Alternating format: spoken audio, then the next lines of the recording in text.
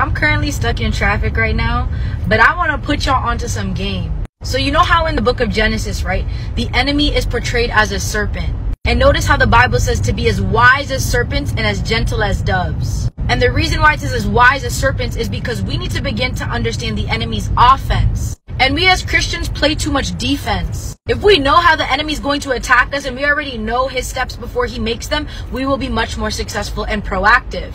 I was listening to a sermon and this just spoke wonders. In order to defeat the enemy, we have to take the battle into the spiritual realm. And the way in which we take it into the spiritual realm is by fasting, is by praying, is by using the word of God and declaring and decreeing out loud because the word of God is the sword of the spirit.